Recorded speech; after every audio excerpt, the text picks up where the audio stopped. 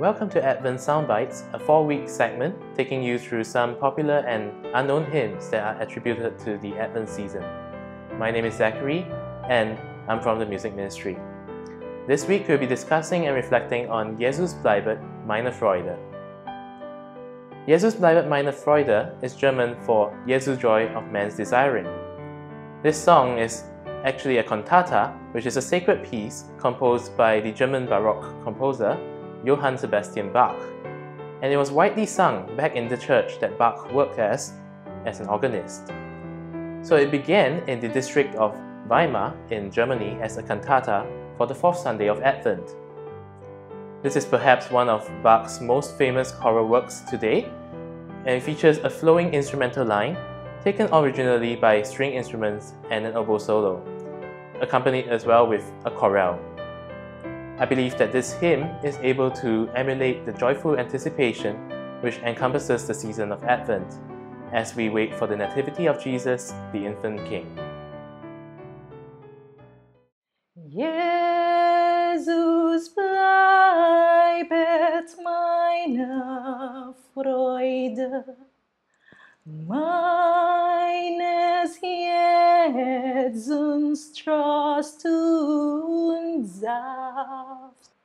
Um, we know that this year has never been easy to most of us. A lot of things had happened. Our world suddenly stopped and became so quiet. I myself actually have been impacted big time, which causes me to suffer anxiety leaving myself far from my family back in the Philippines. Until I received an invitation to join the choir practice. I'm very grateful, so thankful, as it becomes my diversion. We were given few songs to practice and to study our parts.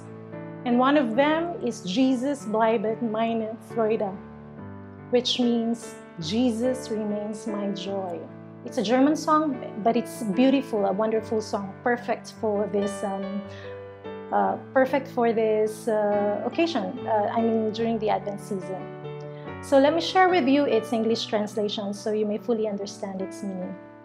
Jesus remains my joy, the comfort and life's blood of my heart.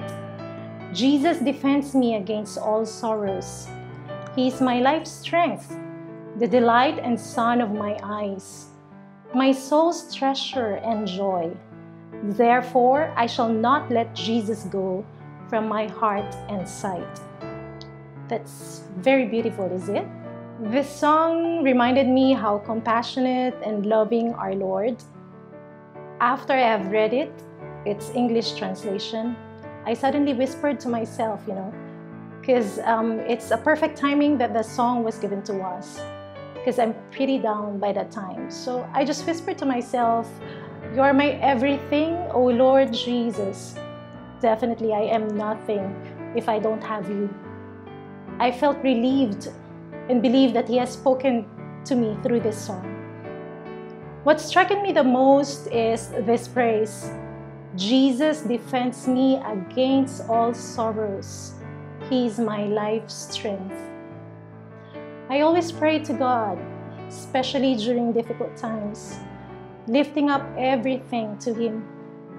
Yet, I will still say, You know what's inside my heart. Give me strength to accept Thy will, for I know that You will not forsake me. It's very clear that I, that I still feel frightened of, you know, what will happen it is easily to become wrapped in fear, particularly over things outside our control. Yet our Lord God reminds us in Book of Kings, chapter 20, verse 5 Fear not, my child, for I have heard your prayer and seen your tears. I will heal you. God is showing us more mercy than we deserve, you know. If we are unable to see His providence as good, we will never be content on this life. Having this faith and love, I know that time of tears and crying is almost over. All our sorrows will turn to joy. Thus, Keep yourself awakened, my brothers and sisters, and be watchful. He will not find us asleep, but rather feasting. What about you, my brothers and sisters? How much do you think you're ready in accepting God's plan for you?